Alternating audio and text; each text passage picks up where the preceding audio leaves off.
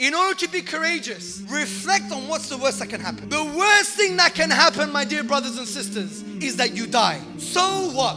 Alhamdulillah. If you have husn adhan billah, you have a good opinion of Allah subhanahu wa ta'ala. You know Allah is Ar-Rahman, the intensely merciful. You know Allah is Al-Wudud, the most loving. You know Allah is the most forgiving. And you know the hadith Qudsi of the Prophet sallallahu alayhi wa sallam when he said that Allah says, I am as my servant thinks I am. In the Arabic, it also means I am as my servant expects me to be. So if you have a good opinion of Allah, you'll find Allah in the greatest of your expectation. As the hadith says, those who love to meet Allah, Allah loves to meet them. Those who hate to meet Allah, Allah would hate to meet them. So if you have a good opinion of Allah, when a Muslim dies, eventually where do they go? Jannah. If that is the worst that can happen, what's the problem? Get up and do something. Get up and do something. Speak. Be active. Gain knowledge. Do what you need to do. Do whatever you can. However you can, when Allah says you can. Is this clear? The worst that can happen is death.